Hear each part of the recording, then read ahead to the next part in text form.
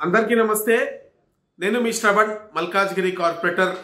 జిహెచ్ఎంసిలో ఉద్యోగులకు జరుగుతున్నటువంటి అన్యాయం పైన మాట్లాడాల్సినటువంటి నాయకులు లేదా అక్కడ ఉన్నటువంటి వాళ్ళ సుపీరియర్ ఆఫీసర్స్ ఎప్పుడు మాట్లాడాలో అప్పుడు మాత్రం మౌన దీక్ష తీసుకుంటా ఉన్నారు.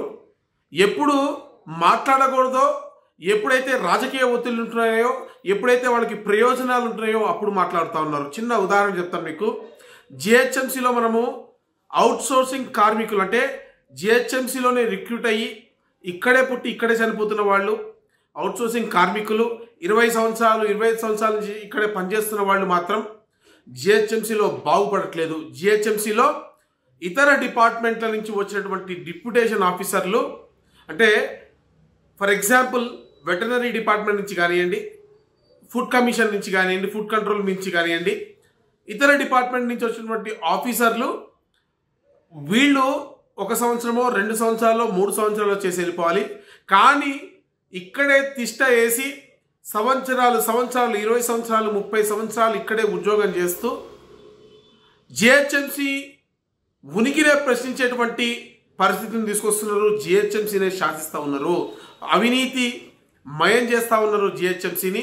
జిహెచ్ఎంసీ డబ్బును అడ్డగోలుగా ఖర్చు పెడతా ఉన్నారు. ఇటువంటి అధికారం పైన చెల్లలేదు రీసెంట్గా మల్కాజ్గిరిలో ఇక్కడ ఎన్నే ఏళ్ళుగా ఉన్నటువంటి ఒక డిఈని ఇక్కడ మార్చరు. డి వాళ్ళు కావాలని అధికార పార్టీ అప్పుడున్నటువంటి అధికార పార్టీ ఒత్తిళ్ళ మేరకు డెవలప్మెంట్ వర్క్స్ ఆపితే ప్రశ్నించినందుకు కేసు పెట్టి అందరు కలిసి నల్ల బ్యాడ్జీలు పెట్టుకొని హంగామా చేసిన వీళ్ళు ఈరోజు మరో మహిళా డీఈకి అన్యాయమైంది వచ్చిన మూడు నెలల లోపలే.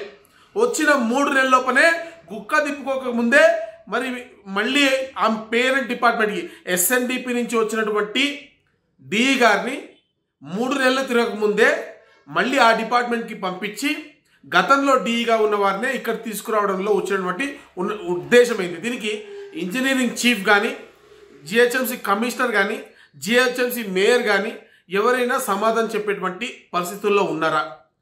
మేయర్ గారి దృష్టి కూడా తీసు తీసుకొస్తా ఉన్నాను.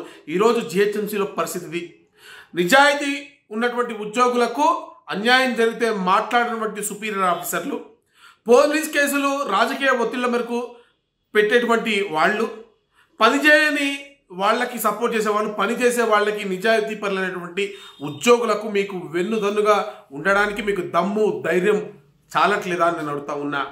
ఇంత అక్రమం జరుగుతుంటే మీరు ఏం చేస్తారని అడుగుతా ఉన్నా. డిమాండ్ చేస్తూ ఉన్న ఈ రోజున. దీనిపైన విచారణ జరిపించాలి. కారకులు ఎవరో తేల్చాల్సిన అవసరం ఉంది. భారత్ మాతాకి జై.